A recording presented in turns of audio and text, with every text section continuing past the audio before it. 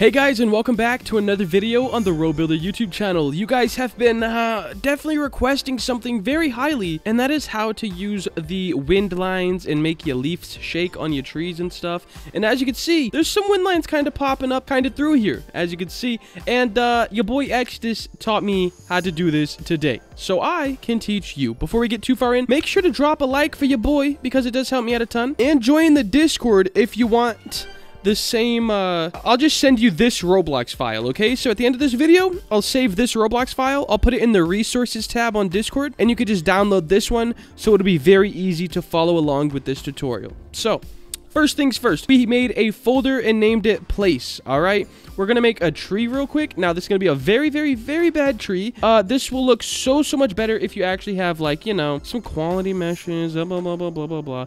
Uh, but we're We're just gonna make a really poor tree right now, uh, just for the tutorial purposes of this video. All right, so uh, bring this guy down. I don't even know why I'm trying on it, but I just want to have a little bit of variation out here. Okay, just a little bit. This is definitely too big. All right, that'll work. And then uh, this guy can kind of go more so in the middle. And uh, yeah, we'll make these guys green. Perfect. This guy brown. Nice. I don't know why I'm going to orange. There we go. And we're going to group this together, guys. All right. So you have a tree, whether that's a mesh or anything like that. Make sure it's a group. Now, we're going to name these two parts. These are our leaves. All right. So we're going to go ahead and name them leaf, just like this. And this, we're just going to name it trunk to stay organized. Perfect. So, we have our model right here. We should also name the model tree. All right, because the script is going to be trying to find your model. So, if you notice this in our little, uh, whatever you would call this, we have everything inside of the workspace, all right? So we have a folder called place inside of workspace, a tree inside the place folder, and leaves inside the tree model, all right?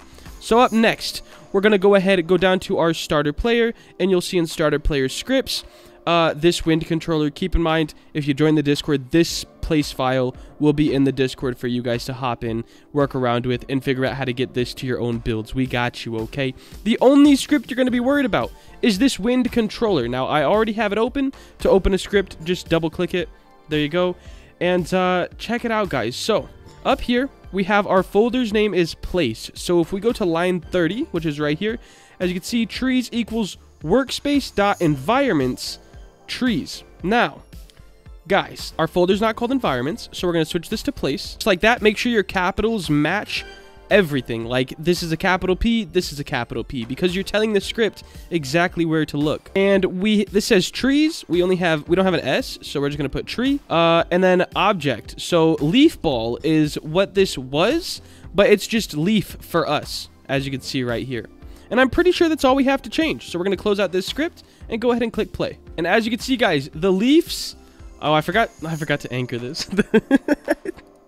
All right, let me just anchor the tree real quick. there we go. And um, as you can see, there's the wind lines and the leaves are moving just like that, guys. Super, super simple. Uh, I'll have this file and you can edit the names of everything however you would like to. But check it out. The leaves are moving about, my guy. Look at them. Like the wind's actually blowing them around gives so much life to your game, guys. I don't know how highly optimized this is. I would definitely use it more so for showcases or just like portfolio work. Uh, I, don't know if it's optimized to be in a whole game, so I, I'm not too clear on that, but this was the tutorial on how to get it to work. If you want this place file, it will be in the Discord below, in the description, guys, and in the resources tab. Let me just make it all clear, all right? But that's going to wrap up today's video. If you did enjoy and you want to see more, make sure to like, comment, and subscribe. Have a great day. Later.